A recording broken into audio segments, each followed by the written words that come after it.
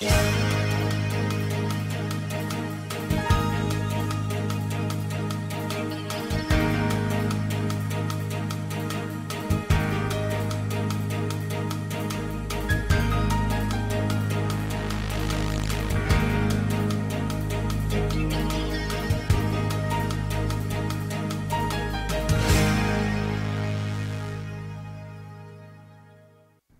volta com Freud Explica, hoje falando sobre obesidade.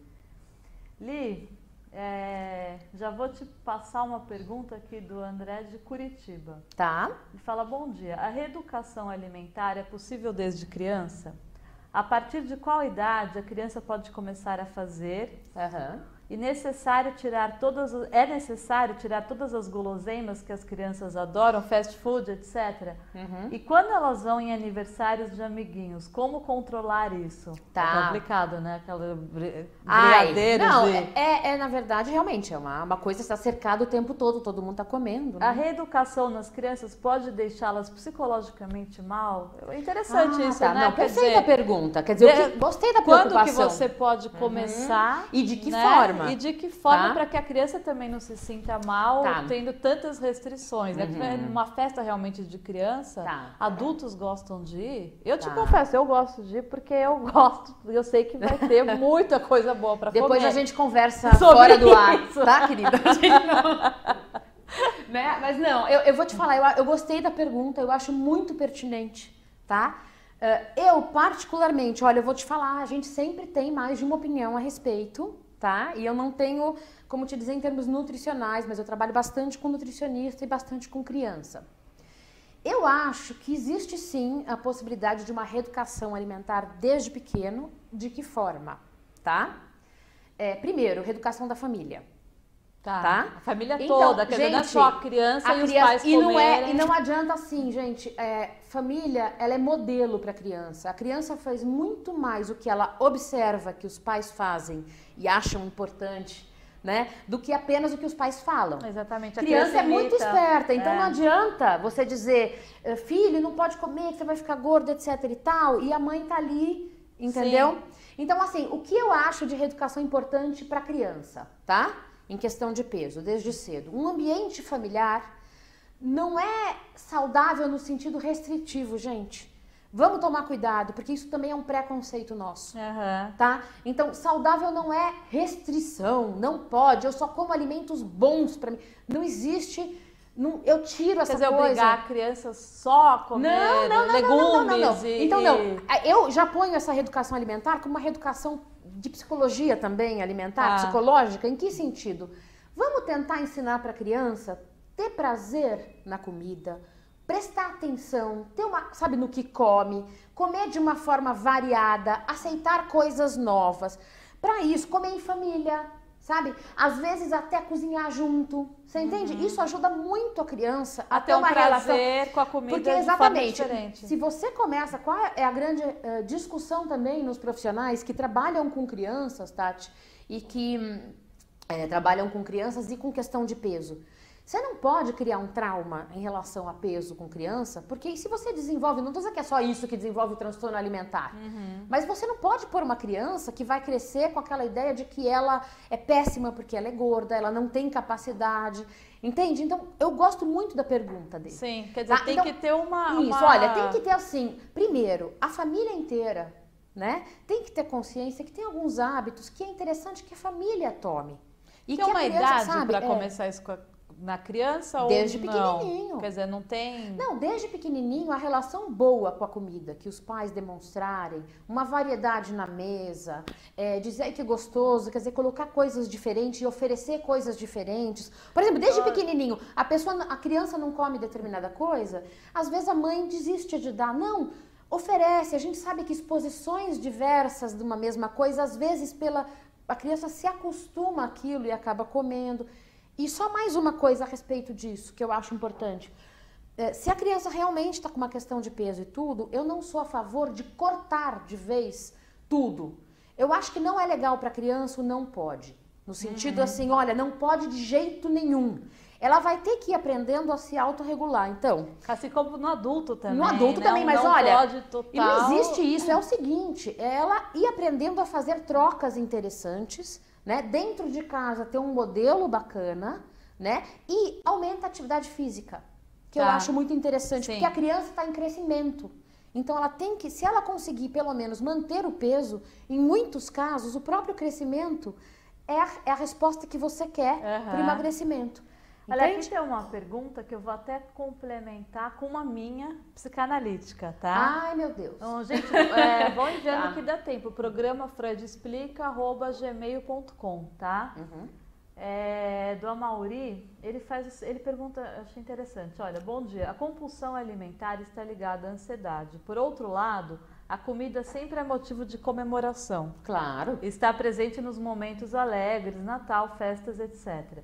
Será que uma pessoa ansiosa não está no fundo procurando lembranças desses momentos felizes? É aí que eu entro com a minha complementação. Nossa, que pergunta legal. É, é a gente discute muito em psicanálise a criança, a, a você querer a comida para querer voltar ao seio, uhum. né? Quer dizer, a questão do, do no momento em que eu estou mamando, eu estou tendo um aconchego muito grande. Então, eu vinculo uhum. o ato de mamar a um ato de proteção, Perfeito. de aconchego, Isso. de carinho. Tá. Então, só complementando porque tem tá. a ver, Não, né? o que eu estou me divertindo aqui, que eu estou rindo, porque o que está me vindo pensar, isso vai virar uma coisa entre irmãs. Eu estou rindo porque minha, é, minha como é que fala, minha linha é diferente. Sim, sim. Né? Eu sou eu cognitivo comportamental, mas olha como tem tudo a ver. Sim. Eu sempre digo isso também. Quer dizer, da mesma forma que você pode falar uma, do ponto de vista psicanalítico, também do ponto de vista de condicionamento ou comportamental, quer dizer, você tem um instinto inicial de apego muito forte, que também é muito importante para a uhum. sobrevivência. Quer dizer, se você for pensar, no momento em que a mãe está amamentando, você entende? É, ela, a criança não está sendo reforçada, ela não está tendo um prazer apenas de, de, vamos dizer, de suprir, de estar tá suprindo a questão alimentar. É um prazer do Está suprindo a questão é. do conforto, tá? De algo que acalma, ela se sente protegida, certo? E olha que bonito, quer dizer, a criança tá ali, não é só o abraço em si, é o calor do corpo, é o batimento cardíaco, é o olho no olho. Uhum. Então ela está condicionando, ela realmente relaciona, é óbvio, comida a afeto. E não só ali nesse momento, Tati, quer dizer, o momento, e esse também pega esse momento dele. A gente Festas, a vida inteira. É. Não, e não só festa, mas por exemplo, quantas vezes a gente não chega na casa de alguém, ou alguém chega na tua casa, e o que, que ela te dá como afeto? Um doce. Olha, olha o que eu fiz para você. Né? A gente até brinca de mãe italiana, de mãe uhum, judia, de não sei o que, né? Quer dizer, olha, eu preparei aquela comida de casa de vó. É uma demonstração de, de afeto, uhum, quer dizer, você isso. preparar algo, né? Pra... Isso. Então, comida, quer dizer, não só nas situações sociais, mas em outras situações, memórias de infância. É, relações gostosas com a própria comida, que tem a ver com um momento de conforto. Então, quem é que não tem aquilo que a gente chama de comfort food? Uhum, né? O que, que, é comfort food, né? É, é, quais são aquelas comidas que te trazem lembranças de infância? Que é, por exemplo, eu lembro das que nossas. Realmente, as nossas. Macarrão ao forno da mamãe, o, o bolo, bolo, de, de bolacha. bolacha. Você entende? Não tem como. Quer dizer, é típico, eu não tenho nem medo de. bolo de bolacha é, é o melhor do mundo. Não dá. Eu, eu refaço, dá. eu faço ele direto, é. entendeu? Por, e isso que eu acho. E eu acho isso legal. E olha, você falando isso, uhum. eu já uhum. ouvi tantos adultos assim comentarem, nossa Adorei, por exemplo, esse pedaço de bolo que eu tô comendo uhum. agora. Mas o da minha mãe isso, é, não tem igual. Isso, e é isso. óbvio que a gente também vai falar tá. que o da nossa mãe, apesar que o da nossa é melhor isso, mesmo, mas. É. Mas você está falando realmente, né? Quer tá. dizer, relaciona a nossa infância. Isso, então, a... isso. E, gente, e olha. muito forte. A gente tem hora. uma coisa que isso é explicado. Quer dizer, a gente tem memórias ligadas a afeto, tá? Então, é, eu acho que. O que, que é bonito nisso? É e é isso. Por exemplo, não, sei se vocês já sentiram isso, às vezes nada a ver com comida, mas em momentos mais tristes, a gente tende a lembrar de momentos tristes. Sim. Em momentos que você está vivendo um determinado tipo de emoção, é engraçado, mas você está mais propenso a lembrar, a tirar da cachola uma emoção semelhante. Então, a comida, ela é isso que você falou, uhum. é, então, quer dizer, quer dizer, ela pode remeter realmente a essa questão da felicidade, do aconchego, uhum. mas o compulsivo, na hora que ele está comendo, né, que está no binging, uhum. naquele processo, ele está se sentindo triste, ele sente vergonha? Quais os sentimentos Tá. que podem passar Tá, tá. por então, ele olha, é, nesse momento ok, do, ok. do o binge, que é esse colocar muita coisa, né, num espaço Uhum, curto de tempo? Quer dizer, o que, que pode passar hum, nele? Ele pode estar com raiva de- até desse ato dele? Entendi, não, sim. Olha, até uma, se você quer saber, até no diagnóstico eh, de transtorno alimentar compulsivo, né, de, de compulsão Sim. alimentar periódica, eh, entra esse sentimento como. Então, assim, tudo bem, não são todos os casos que são exatamente assim, e isso muda às vezes na própria pessoa com o tempo, Aham. mas uma das coisas é, eh, depois, primeiro, comer escondido.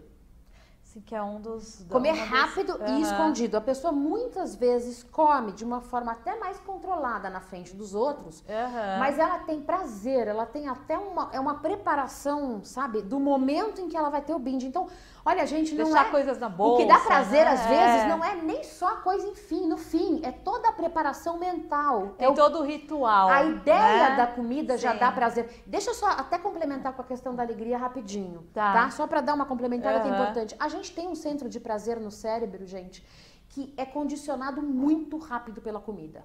Tá? Então, basta uma vez que você comeu uma coisa muito gostosa ou associou uma situação de prazer ou de alegria, aquilo vai, a, a só ideia ou a palavra da comida vai direto Tá, centro de prazer e te dá já a vontade de querer de novo. Tá?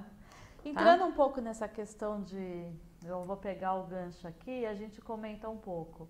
A Raquel, ela adora esse tema. Gostaria de saber quando a obesidade passa a ser perigosa e por que a pessoa gordinha, que se aceita de verdade e se Aham. acha linda mesmo assim, Uhum. é criticada pela sociedade como se no fundo quisesse ser magra e não conseguisse. Ah, tá. Acontece muito, quer dizer, a- a- você vê a, a gordinha que fala, não, eu gosto de estar gordinha, É. me acho linda assim, aí a, você vê que um comentário Até realmente parece, grupo até é uma- parece, é. no fundo ela deve estar sofrendo. Tipo, é impossível ela estar feliz. Exatamente, interessante Tá. isso. Eu né? gosto muito dessa postura. Eu tô gostando muito das questões, viu, gente? Assim, tá muito bacana, bacana. tão né? legais mesmo. Estão me fazendo pensar aqui. Sim. Mas honestamente é isso. E eu vou te dizer, gente, isso vai muito além da pessoa gorda ou não gorda. Eu acho que hoje a gente tem que pensar na questão alimentar, na nossa relação com o nosso corpo, com os estereótipos de gordo magro e com a comida de uma forma geral, em todo mundo. Eu acho que existe uma perversão dessas relações, uma, Uhum. uma, uma mudança, uma coisa até de uma forma negativa nas ideias que a gente tem pré-concebidas na relação com a comida ou do que devia ser. Isso, é mais uma questão moral. entra, né? Olha, muito, é mídia, é, a gente. Olha, um grande problema que eu encontro hoje. As pessoas às vezes têm consciência, por exemplo, vou pegar até uma questão um pouco contrária a isso, mas que também mostra como essa questão é complicada. A pessoa tem consciência, né, de que é uma questão social, de que ah, eu não preciso. Por que, que o gordo tem que ser infeliz necessariamente e o magro não? Exatamente. Inclusive, o gordo não é só infeliz, ele tem que ser mal sucedido, etc. até, e tudo. É. fazendo aquela, aquele papel do palhaço, né? Quer dizer, o gordo ele faz o papel do palhaço Ou, pra... ou do infeliz, ou Sim. do. Mas assim, é como se ele tivesse, ele fosse moralmente realmente mais fraco. A pessoa vê isso. Mas assim, ao mesmo, mesmo a pessoa que tem consciência de que isso é uma distorção absurda e preconceituosa. ah, o que eu vejo de muito grave é que às vezes, mesmo uma pessoa super consciente disso, ela diz: Eu li um artigo essa semana, não tô lembrando o nome para poder citar, né? Um blog.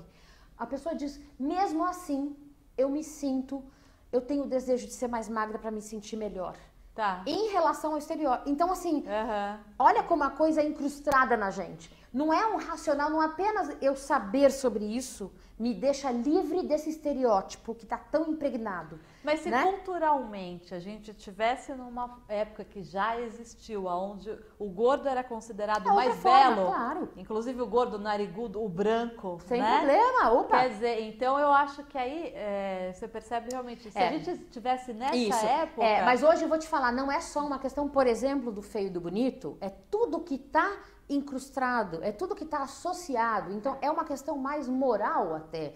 Quer dizer, inclusive porque a gente tem que tomar cuidado até com o discurso médico. Porque, por um lado, eu sei que a obesidade pode trazer comorbidades, é considerada uma doença. Sim.